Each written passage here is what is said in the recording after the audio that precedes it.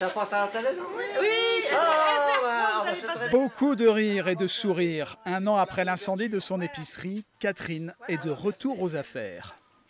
Depuis le temps qu'on attendait ça, Ouais, ouais, ouais. ça durait euh, beaucoup, beaucoup trop de temps. Moi, je viens surtout pour les journaux, et puis bon, bah, des fois, je prends des, des, des- des légumes, des fruits, euh, des jeux. C'est ce qui fait de l'épicerie de Catherine le cœur du village, le multiservice.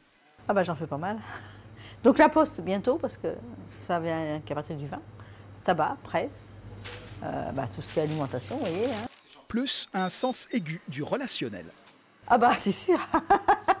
Puis de revoir tout le monde, c'est ça qui est intéressant.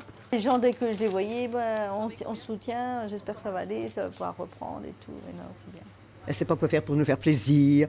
Si on n'a pas, elle nous commande, etc. Elle est formidable. Toute l'équipe municipale a soutenu Catherine. La commune a également hébergé l'esthéticienne dont le salon avait brûlé dans l'incendie de l'épicerie. Et ce n'est pas tout.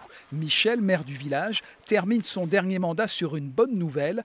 La boucherie et le restaurant de la place de l'église auraient trouvé repreneur. un couple qui semble être très très très intéressé, qui attend que le conseil municipal mardi prochain, mardi 18, prenne position.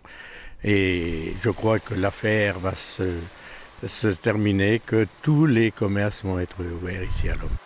Autre atout du village de l'Homme, situé au cœur de la vallée du Loir, le vignoble sartois qui attire au beau jour de plus en plus de touristes.